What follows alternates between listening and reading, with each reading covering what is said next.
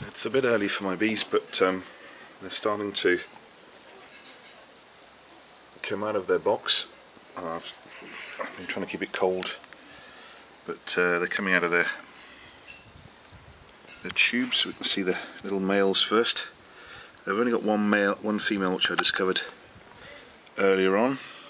Uh, which she's uh, she's hiding here. I'm not sure what she's going to do or what. She's a bit nervous. But uh, anyway, today is March the 11th. Uh, it's a little bit early, but we had a very strange winter, and we had these males uh, of about a thousand males that I have. About 600 females and about a thousand males that want to uh, find love this season. So it begins. uh, Most of it begins today for them. Waiting for the sun, and the sun isn't really doing much.